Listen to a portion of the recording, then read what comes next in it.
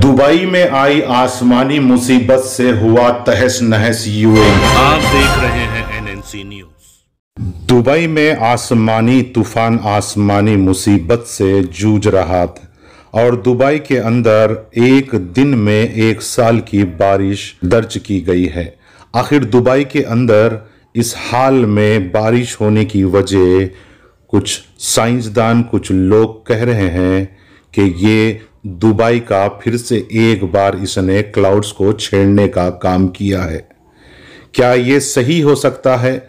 उसके बाद Dubai government ने एडवाइजरी जारी की और दुबई ने कहा, हमने क्लाउड्स में कोई छेड़छाड़ इस बार नहीं किया। ये कुदरती बारिश है। यानी ये आसमानी इनकी तरफ़ मुसीबत वाली बारिश हो सकती है। और वहाँ पर ये बारिश की वजह से सारे रोड जकाजक जाम हो गए और गाड़ियाँ पानी के अंदर तीर रहे थे और गाड़ियाँ जहाँ जहाँ पानी का फ्लड जहाँ पहुँच रहा था, उस जगह सारे गाड़ियाँ जाकर कचरे की डंप यार्ड की तरह जमा हो गए।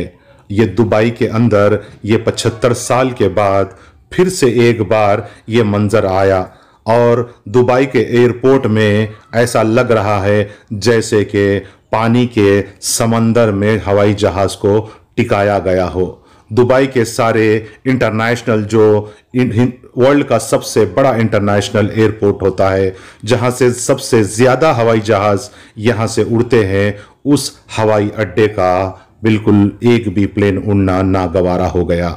पानी की वजह से सारे प्लेन कैंसिल कर दिए गए। ऑल ओवर वर्ल्ड से कोई भी हवाई जहाज़ दुबई के लिए नहीं आ सकता। दुबई का हाल 75 साल के बाद ये मंजर है। एक प्लेन लैंडिंग होने से लैंडिंग के लिए आई थी वापस, वो टेक ऑफ़ कर लिया। मैं आपका दोस्त शेख अब्दुल रशीद, आप देख रहे हैं एनएनसी न्यूज़ लाइक करें सब्सक्राइब करें। जय हिंद।